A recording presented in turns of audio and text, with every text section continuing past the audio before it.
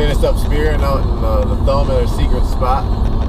The water conditions were not what we expected, but expected. Um, we, we worked with it. We got a couple of shots with the bulls, a couple misses. Took we got what, two, two each? two each with the bowl, a dozen or so with the, with the spear.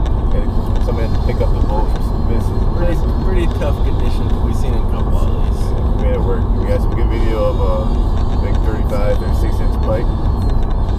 How big was it, Brandon? So Oh, it's at least 48 inches. 48 inches. It's about that wide, probably about that Right. long. Fucking big. Tough terrain to walk through. too. Yeah, we got a couple slips, but it was a good trip. So put the video together and Pick the it was birds good, it was good to pick the birds off.